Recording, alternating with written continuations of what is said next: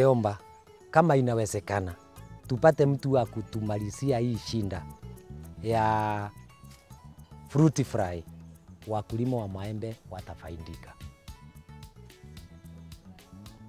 Na changamoto ambayo hii inawakumba haswa hapa nchini Kenya ni mdudu huyu ambaye anaitwa fruit fly ama kiwavi wa maembe. Mdudu huyu anaweza kuleta uharibifu wa maembe kwa asilimia kupita asilimia themanini.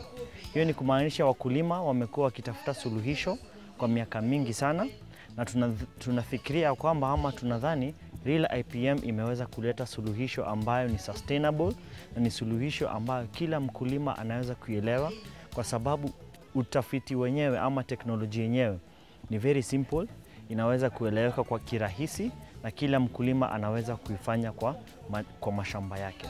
Kwa Isipe na IP, Rio IPM hao ndio wametuokoa. Kazi ilikuwa ngumu kama vile nilikuwa nimesema mbeleni, na tayari ukienda upande huu wa chini kuna watu walikuwa na mashamba makubwa na yote miembe ime, tayari imekatwa, wameanza kulima vitu vingine, lakini sisi ambao tumevumilia, you have come at the right time, juu sasa you are going to save the, mangoes ile imebaki, na wengine wataanza hata ma, ma, mashamba ambayo haijapandwa, ninaamini watapanda ma, maembe sasa, maembe itaongezeka. Pheromone ni kama harufu ama mvuke wa fruit fly ya kike. Kwa hivyo mnuko huo ama mvuke huo waweza vutia fruit flies wa kiume kutoka kilomita moja.